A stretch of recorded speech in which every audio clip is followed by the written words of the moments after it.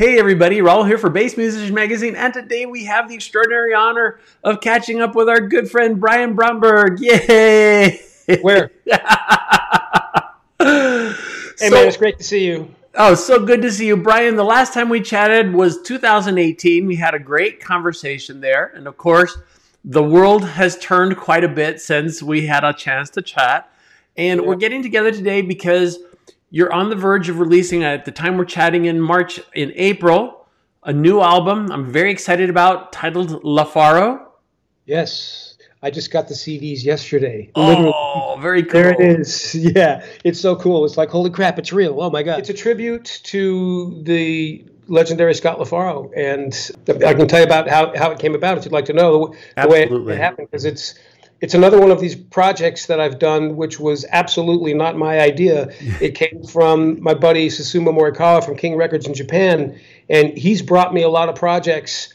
And, and I've done a bunch of records that I never would have done if it wasn't for him mm-hmm. bringing these ideas and things like that.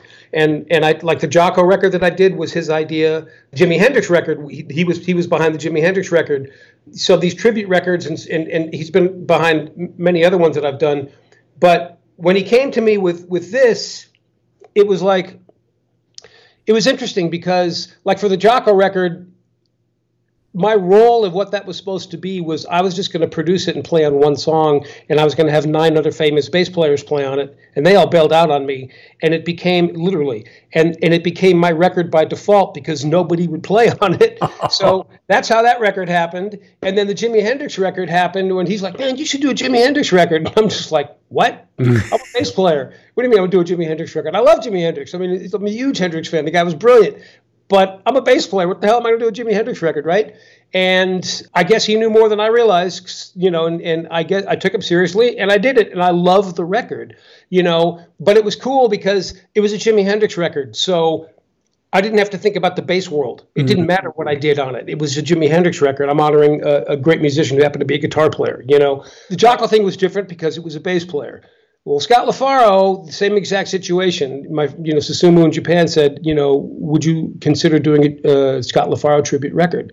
And I was, my immediate reaction was like, wow, uh, no. it's like, you know, thank you, thank you for thinking of me this way, but you know, I don't, I, I just kind of don't want to. I just kind of don't want to touch it. You know, the jazz police and the bass police are going to kill me if I do this. It's mm-hmm. like, you know, it's like no, I, you know. And he's like, well, you know, Brian, you really need to think about this because, you know, you really should do this record because you can. This is like your thing. You should you should do this. And I'm like, man, all right, let me think about it. But you know, I I, I don't know.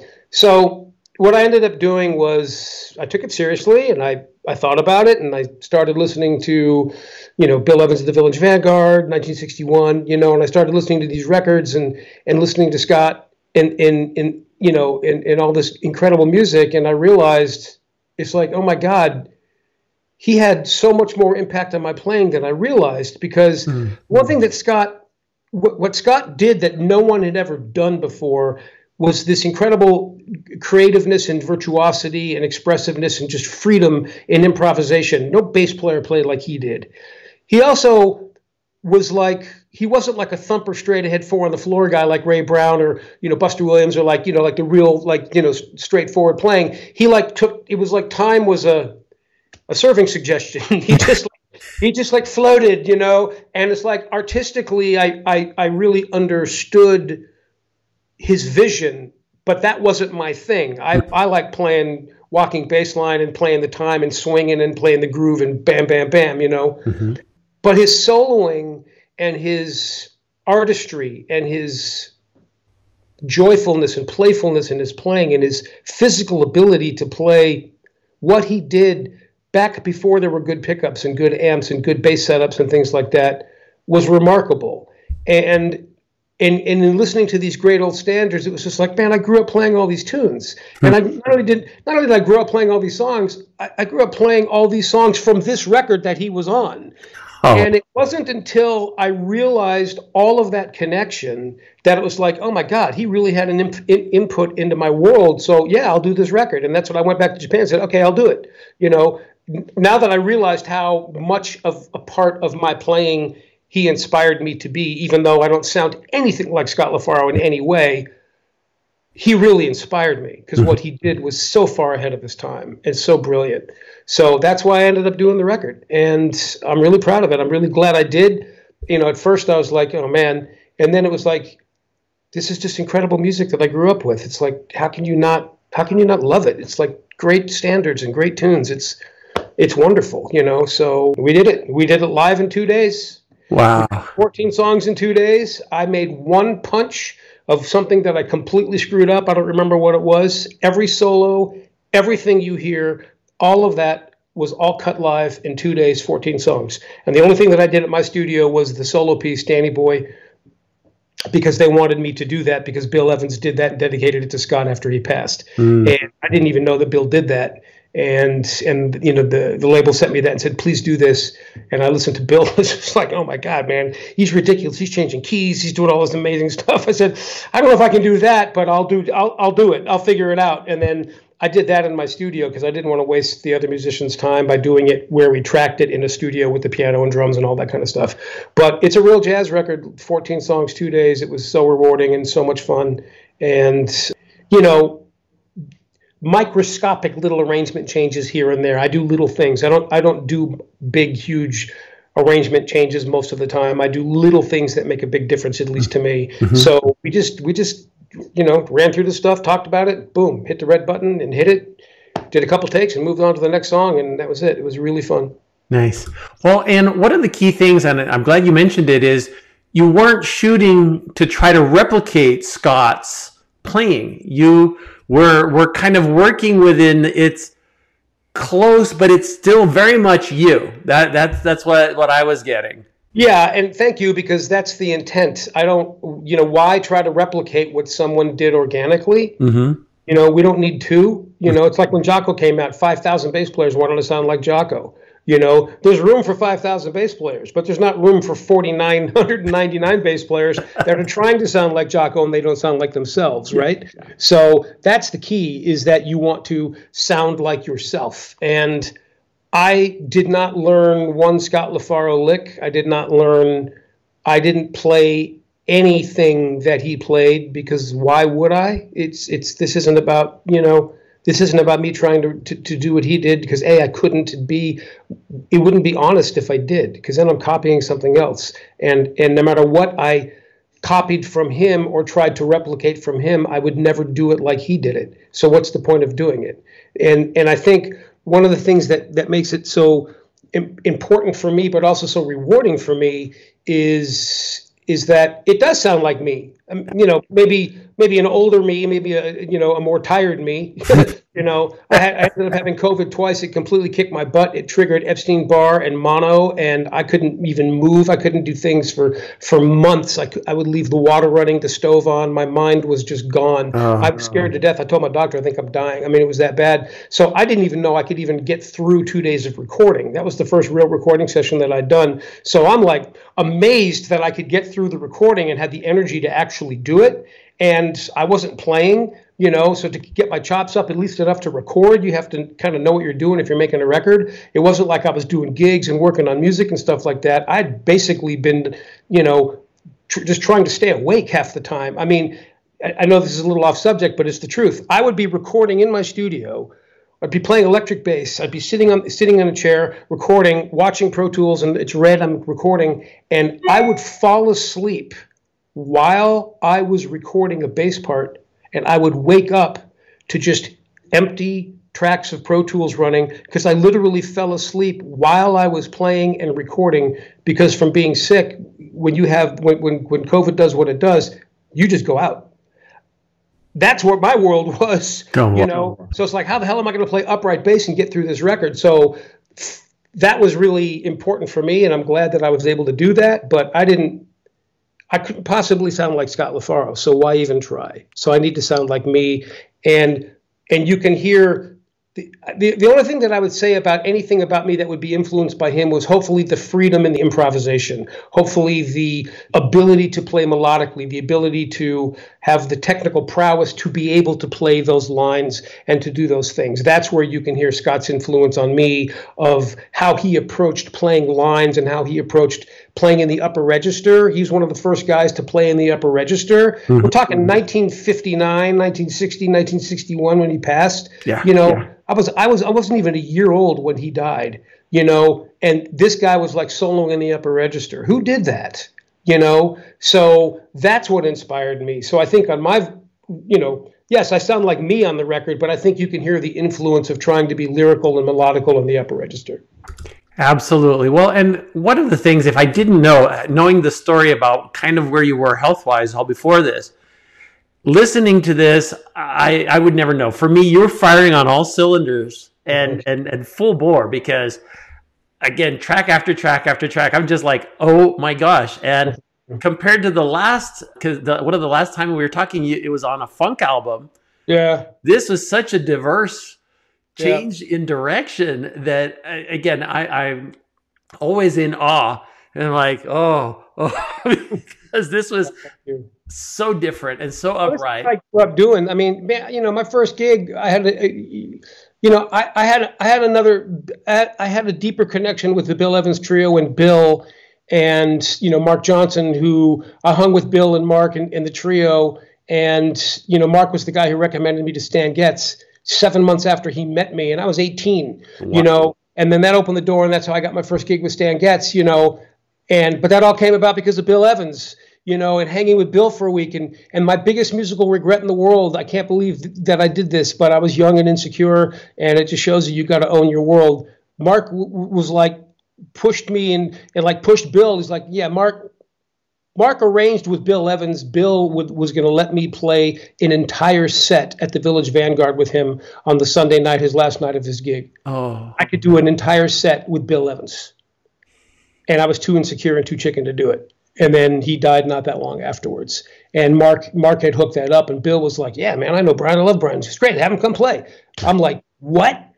I freaked out, man. I was like, I'm like, I'm nervous. It's like I just couldn't. I, you know, I, I, was 18, 19 years old. I don't remember what it was, but I, I, I was so freaked out. It, it, just, it just took me out. But could you imagine if I could have had that experience of playing with Bill Evans, even if it was one song? Yeah. This guy did more as a pianist in, in a jazz trio f- to support a bass player. Could you imagine like him comping behind my bass solo? I'd probably just like puke or something because I'd be so scared. what an amazing experience to be able to play with someone like that. You know, he, he did more for the upright bass player than anybody, you know, as a soloist, yet still a bass player because you still got to play the role of the bass. You know, I mean, we play bass for a reason. We love playing time, we love playing the bass the soloing is just the icing on the cake, but nobody hires you to solo unless it's your own band. they hire you to play the job of a bass player. So even if like playing with Bill, just to walk behind him and just play with him would have been just like life changing, let alone hearing him comp behind a bass solo, you know? So th- this, that is connected to this record because it's Bill and Bill did that for Marc, you know, for for Scotty. Bill did that for Marc Johnson, and in a sense, he could have done that for me if I wasn't too darn scared to do it, you know. but um, so there's a lot of emotional calories in this record for me, be, because of you know because of those connections, you know. Got you. And because this isn't recorded with Bill Evans, you had Tom Zink and Charles Ruggiero. Ruggiero, yeah. Yes. They very much. I mean, it was a very balanced trio setup. So this is really interesting and it's really cool. And, and I, I know I use the word rewarding a lot, but it's the truth and it's how I feel. And it's, it really, it's really cool for me. Okay. Mm-hmm. So, you know, I'm very blessed. I'm fortunate. I've reached a level in my career where I could call the most famous guys in the world to play on my record and they would play on my record, you know, because hopefully they respect my playing and more importantly, they want to get paid, right? Just like, yeah, man, hey, I'm playing it. Ah, I hate your playing. I don't care, but here's the money. It's like you play. But, yeah. but the point is, is like, you know, you reach a point where, you know, most people would return my call at this point, you know, in the jazz world, I would hope, mm-hmm. you know. And then it was one of the things that that when it came time to do the record, you know, I asked the label in Japan, well, who would you like me to use? It's like I'm I'm open here. It's like this is your idea. tell me who you would like me to use. Like like like who's who's well known and well respected in japan because it came out in japan first. Is there somebody specific that you hear that you would like to have play on this? I'm happy to have you know i'm cool you know? And basically his response was i don't care who the other musicians are. It's your record. And all i care about is you you know? So I was like, okay, well, all right, that's fine. It's kind of weird, but okay, that's cool. I understand. I'm I'm the artist, so people are going to, in his mind, you know, people are going to buy it because it's my record. In my mind, you know, yes, it's my record, and I'm the featured guy, but we're in this together. Yeah. We're a trio. We're all we're all in it together. We're all equals. You know, it, it may be my record, and there's bass solos and melodies and stuff, but we are complete. It is a trio you know, there's three of us here, it ain't just me. You know, so in thinking about it, it was just like, well, man, who do I use? And it's like, I live in Los Angeles. You know, there's some cats in New York that I like to have playing it, but there's just not enough money to fly them and put them up in a hotel. All That it's just like, and then you know, Tom Zink has been playing piano with me for years and years in, in, in my, my contemporary bands, and he's just a sweet cat, and he's a huge Bill Evans fan. And so it's just like, you know, this would be great for Tom. He could use the visibility and the exposure. People don't know his playing this way. Mm-hmm. And for me personally, as a friend, you know, and somebody who loves the guy, it's like, I want people to hear a part of you that they just don't know exists because they never hear you this way. They don't understand that you're a really great musician and you that you're a lyrical player and you're a melodic player and you you have that sensibility of never overplaying and getting in the way. It's like you play musically, you listen. And I want people to hear that because they're just not used to hearing him that way. And then when it came to the drummers, I was like, well, you know, maybe I should call Joe LaBarbera because he played with Bill. He played in the trio with Bill for years. It's like, and I know Joe, mm-hmm. and we play great together. It's like maybe I should have Joe do it, you know. And then in thinking about it, I was just like, man, I'm just, I don't, I don't know if I should, you know, you know, then then are people going to think I'm trying too hard, or am I, you know, you know, you know, whatever. I don't know. And then I did a gig with a sax player in LA, a guy named Doug Webb, who's a great jazz sax player.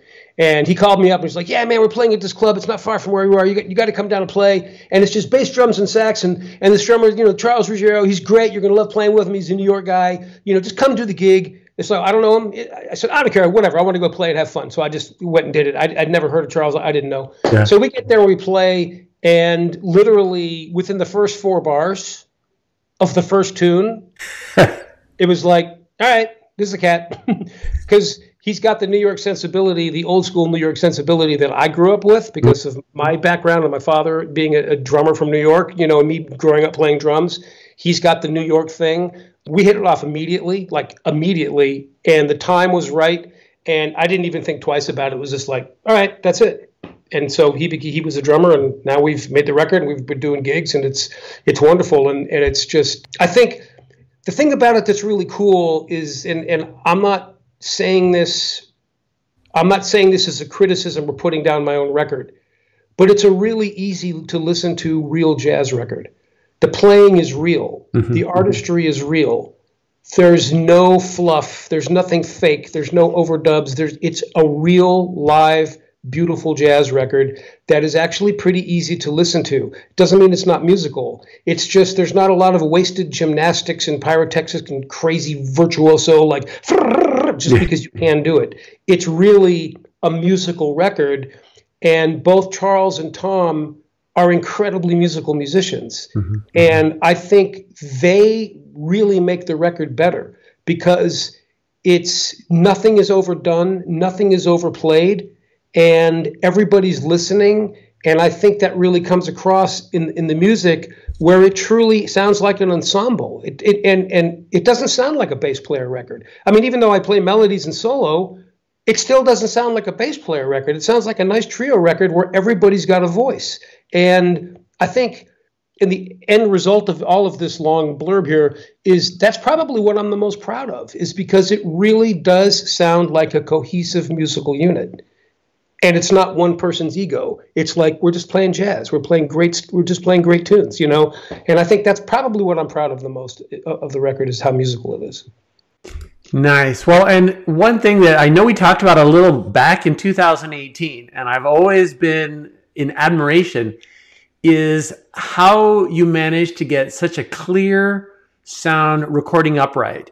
Mm-hmm. I, I think you're like the golden standard. If anybody wants to record upright, they should talk to you because I, I heard so, such clarity and such detail and so much color. I mean, it, it's like taking off a blindfold to see. It's just amazing. Well, thank you. That that that means the world to me. You know, it's like I am incredibly fortunate and incredibly blessed to have an instrument that taught me how to play. I I have over a 300 year old Italian bass. I've had it since I was 16 years old, and I I couldn't even start playing that bass for probably two years, two and a half years that I had it because I just wasn't good enough to play it. I had I had another bass at the time when I was playing with Horace Silver and and other other great artists that I would tour with. I had a beautiful Czech bass. Unfortunately, I, I needed the money, so I sold it because I had I had my Italian bass. I had another bass. It was like I need the money. I got to sell my bass, which I really regret selling that bass. It's a great bass, but I couldn't even play my Italian bass because it was just too good for me. I wasn't ready for it, and it wasn't until and, and I this is coming from my heart. This is the truth. I just was not good enough and mature enough to play that bass because once I started playing that bass, that bass taught me how to get a sound. Mm-hmm. That bass taught me how to play in tune. That bass taught me how to be clear because it is so that bass is so clear and so clean. You know, it's it's it's it's most upright basses are a lot louder and a lot bigger and a lot more exciting and a lot more vibrant.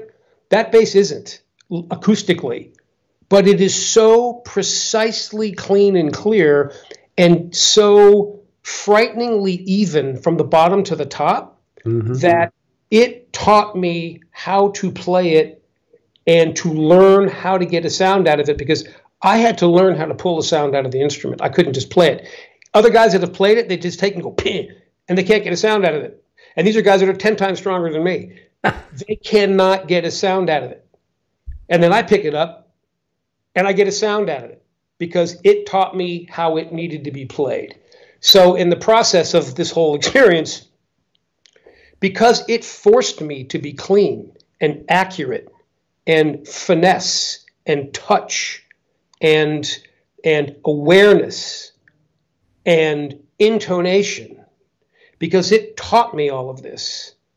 When I record, it comes, you really hear that because because let me tell you something is something that I've learned from a lifetime of doing this is that your sound is here. Oh, yeah, absolutely. That's it.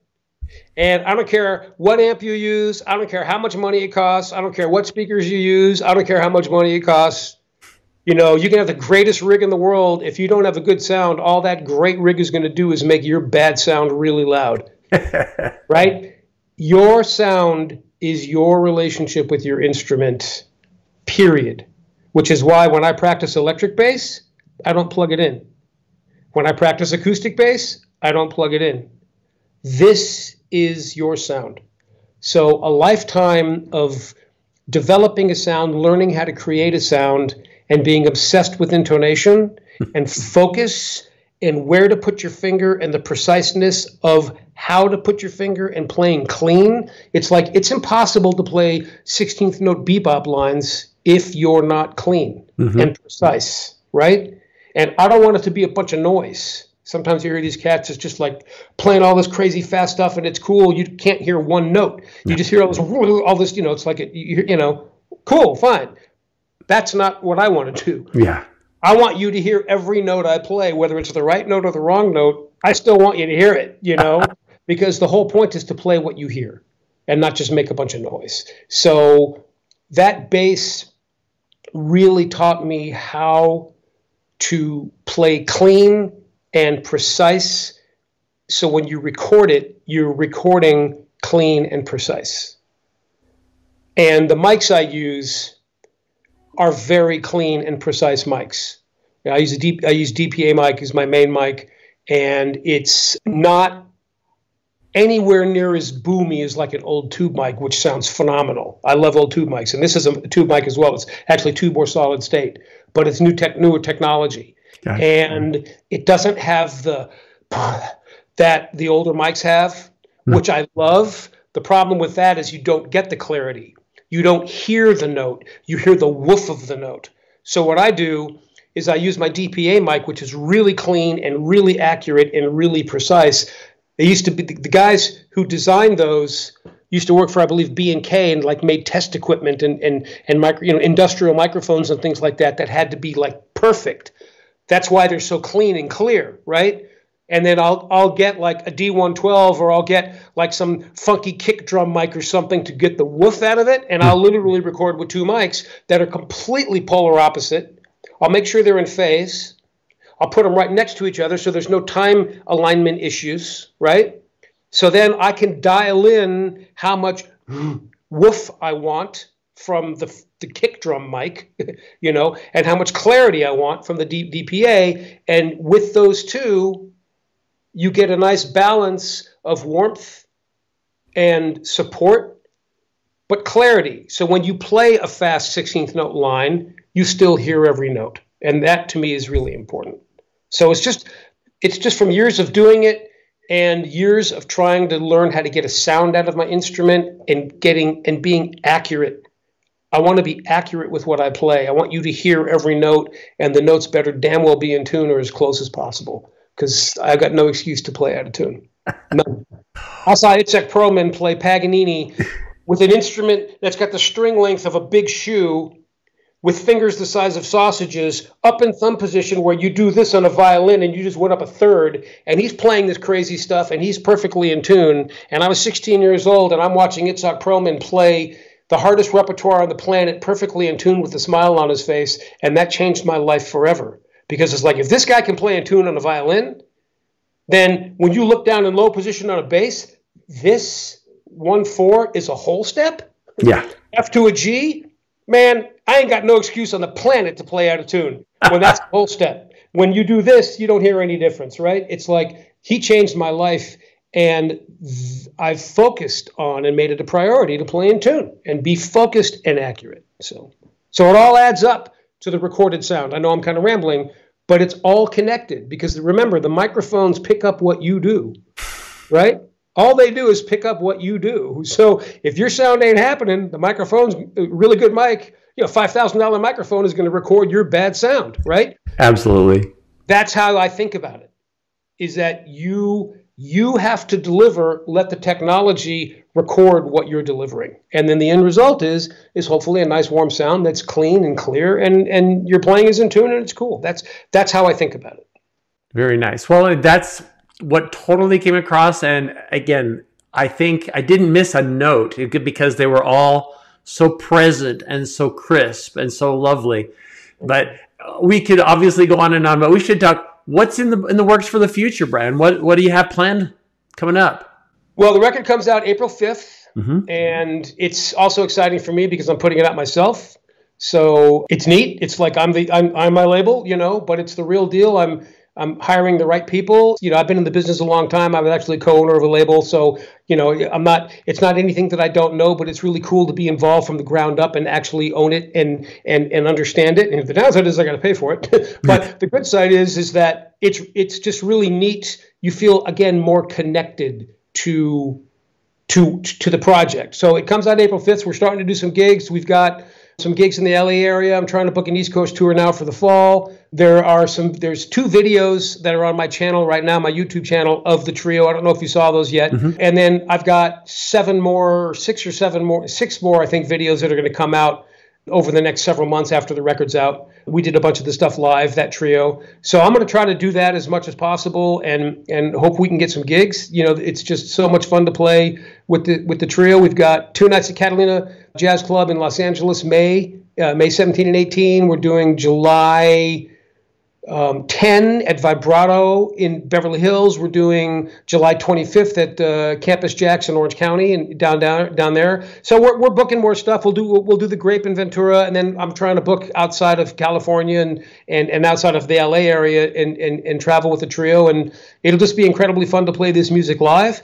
On the polar opposite side of this is um, I just have a new single come out of my contemporary record, The Magic of Moonlight, that just hit radio last week and that's exciting. And we've got more gigs, you know, with that funky band coming up, and it's really, it's wonderful. You know, the Berks Jazz Festival and going to Indonesia to play the Java Jazz Festival, and it's it's it's cool. These projects are so polar opposite different that it's it's really a joy because you completely go to a different world. So when I go play the funky stuff, my head is totally into that and the groove and, and, and all that. And then when I go play the jazz, it's like I just leave all that behind and I go into that world. And it's just so nice. And, and to me, it's just balance. You know, it's like it just, it, it's just wonderful to be able to experience the, the, different genres of jazz and to experience the two different instruments, which is acoustic bass and electric bass, you know. And for me, I love them both. And it's, and I'm a writer, so when I write music, my heart's in it, you know. So even though it's contemporary funky stuff and it's on, you know, watercolors and smooth jazz radio, man, I'm blessed they're playing my music. You know, it's an honor. Are you kidding me? They don't have to play my music. They can play other people's music and they're playing my music. That's a big deal, you know.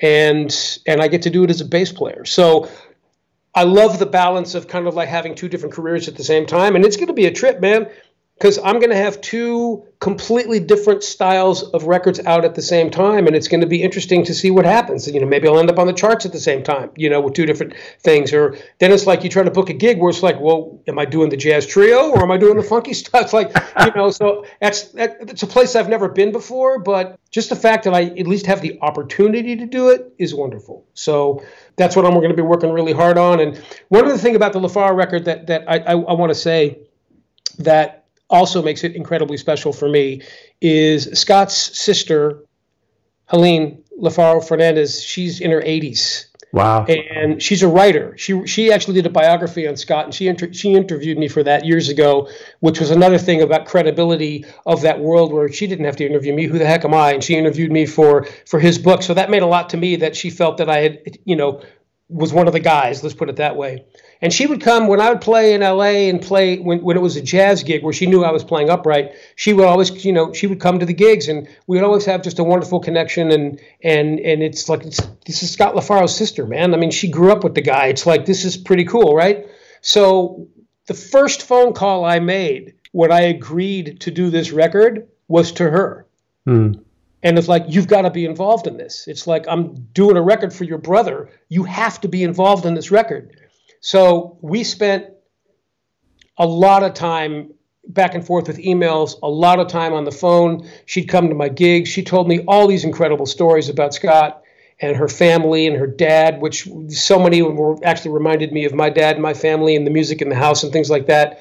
And just all these great stories of her relationship with Scotty. And I just felt so connected to Scott and to the music and to what this record means because I felt like I jumped into her family and I jumped in I, I, jumped into their life in these conversations and in this and I said you have to write something for you know for for the record. So she she wrote a really beautiful statement in the in the artwork for the uh, on the in, in, the on the CD um, she made just a, a, really beautiful statement for me that when I when she sent it to me I read it I literally was like I started crying. I, I, I lost it you know? And it just from a credibility standpoint, you know, she was there. She yeah. witnessed everything. She experienced his ups and his downs with him, and they were very close. And it just meant so much to me to have her involvement, and it made me feel like like this was the right thing to do for the right reason and because it really wasn't about me. It just it made it very rewarding for me where i feel like okay i'm not just doing another jazz trio record because who cares? I mean i just assume just go listen to the bill evans trio. Why do i need to make a jazz trio record? Nobody cares you know? Mm-hmm. But now there's a reason to care because yeah. now i feel connected to it and there's a reason to do it. And her involvement made it so much more real for me you know? So that's so there's a lot of depth in this project in many different ways and a lot of connections in my world and that's just really special. So i'm i'm thrilled to get it out to the world. I hope people love it. I, I hope they get it for what it is versus tearing it apart for what it's not. You know you know how people can be. You know they'll shred you because you didn't do x y and z. It was like you're right. I didn't do X, Y, and Z because that's not what I do and who I am. Why don't you listen for it for ABC instead of X, Y, Z yeah, and just yeah. enjoy it for what it is instead of tearing me apart because for what it's not, you know? So I just want people to listen to it with their ears and not their eyes, you know, and just listen to the music and get where it's coming from and just, you know, hope you dig it. You know, that's for me, that's that's all I could ask for. And if people want to know where you're going to be because you've got so much going on, brianbromberg.net. Correct. My website, Facebook, you know, Instagram, you know, the other what's the other new one? The, the um, threads, whatever, you know. Yeah. But basically, my website, Instagram, Facebook, you know, basically pretty much has everything. And, and I always post all my gigs. Bandsintown's great. You know, I always post all my gigs and things like that. And come check it out. And uh, if you guys check out the record, I hope you like it. And if you see me at a club near you, come say hello. Absolutely. Well, Brian, we appreciate you taking time out of your busy schedule to chat with us and to share LaFaro, which is, again, a magnificent album. People, you have to hear it. Thank you. You'll love it. I'm, I'm glad you like I it. I know I do. Well, thanks. And you listen to a lot of music and you know a lot of bass players. So for me, you know, when you say it's cool, you know, I, I that gives me a nice vote of confidence because I know I know I know you know what you're listening to. So thank you. I appreciate it. well, thank you. Well, folks, you've seen him here on Bass Musician Magazine, Brian Bromberg. Thanks, man. Take care, everybody.